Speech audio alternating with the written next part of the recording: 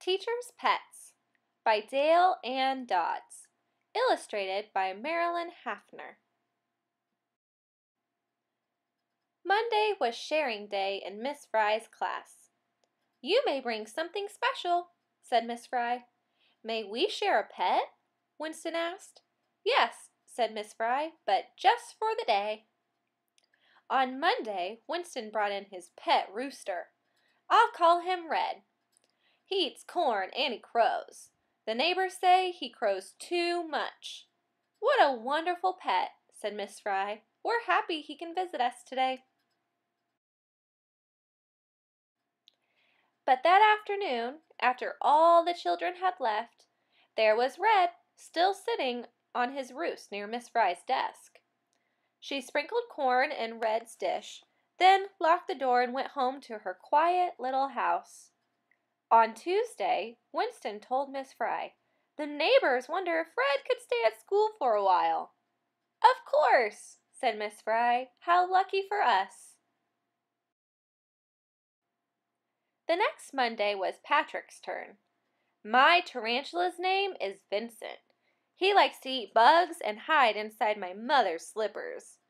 What a wonderful pet, said Miss Fry. Don't forget to take Vincent home with you at the end of the day.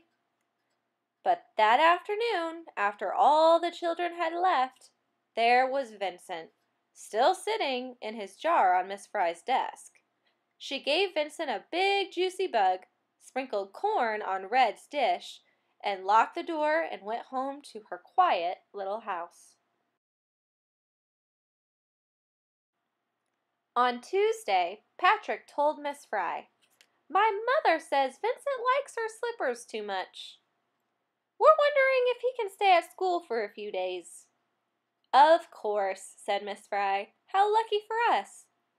The next week, Roger brought in his cricket. His name is Mo, said Roger. He eats leaves from the garden and sings chirp chirp all night long. What a wonderful pet, said Miss Fry.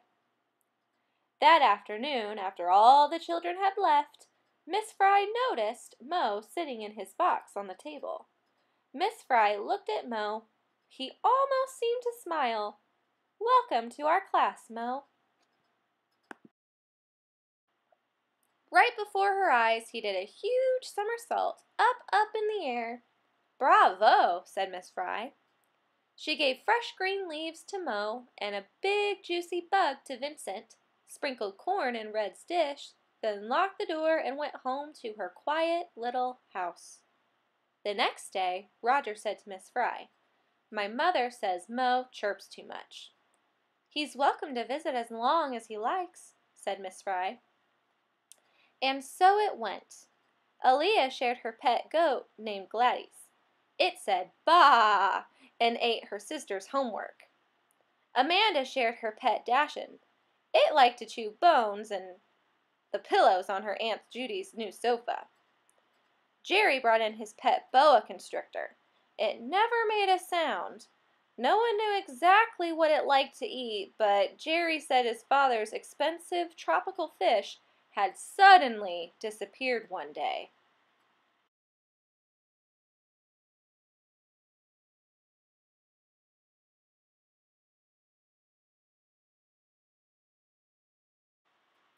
There was Megan's cat, Mitchell's mice, Daniel's ducks, and Tom's iguana, Frankie's frog, Lily's monkey, Terrace's turtle, and something square and fuzzy that Avery brought in. It looks like a kitchen sponge, said Bruce. A really old kitchen sponge. It's my pet, said Avery, and that was that. Before long, Miss Fry's classroom was bursting with the happy noises of all the children's pets. Quack, quack, quack! Meow, meow! Cock-a-doodle-doo! Ribbit, ribbit! Bah! Squeak, squeak! Chirp, chirp! Woof, woof! On Parents' Night, the mothers and fathers walked around the classroom with great big smiles on their faces. Isn't it great? they said. that Miss Fry loves pets so? Only Roger's cricket sat quietly in his box. You must miss your garden, Miss Fry said. Chirp, said Mo softly. He crawled under one of his shiny green leaves. On the last day of school, Miss Fry's class had a party with balloons, hats, and ice cream cups. Goodbye, children, Miss Fry sang out. Have a nice summer, and don't forget to take home your pets. One by one, the children disappeared, and with them went their pets. No more pets, said Miss Fry. She looked around the quiet, empty room. Then Miss Fry noticed a box sitting on her desk. She peeked inside. A little face looked up at her. It almost seemed to smile. A note inside read, Dear Miss Fry, Please take care of Mo. He likes you best. Roger. How lucky for me, said Miss Fry.